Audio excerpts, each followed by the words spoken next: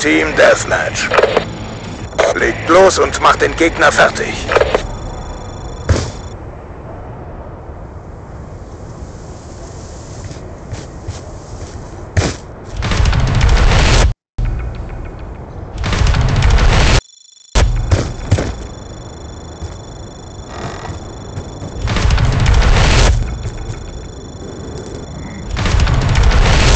Keine Gefangenen machen.